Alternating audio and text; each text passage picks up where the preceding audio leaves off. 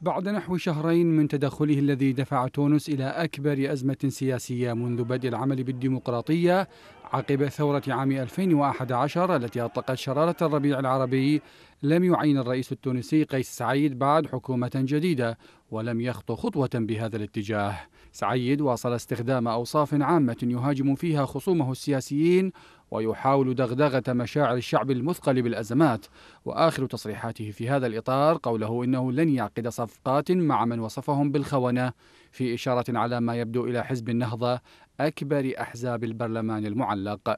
لم يكتف سعيد بذلك فوفقا لأحد مستشاريه فإنه كان يعتزم تعليق العمل بالدستور وتقديم نسخة معدلة للاستفتاء العام وهي خطوة رفضها الاتحاد العام للشغل الذي يتمتع بنفوذ كبير. ليعود الرئيس التونسي بعد ذلك عن قراره ويؤكد أن أي تعديلات يجب أن تجرى ضمن إطار الدستور الحالي.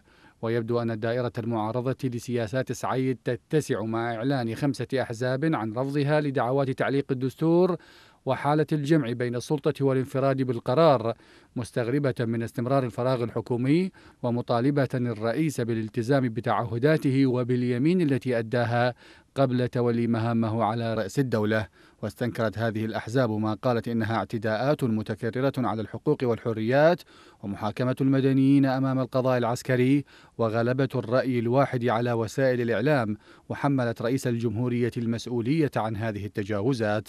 الخطوات التي اتخذها قيس سعيد والتي قال إنها جاءت لإعادة تونس إلى المسار الصحيح لم تؤت أكلها حتى الآن فوعوده المتكررة بتشكيل الحكومة الجديدة في أقرب الآجال لم يتحقق بينما يؤكد خصومه وفي مقدمتهم حركة النهضة أن الرئيس أدخل البلاد في نفق لا يقل قتامة عما كانت تعيشه قبل ما تصفه بالانقلاب على الديمقراطية.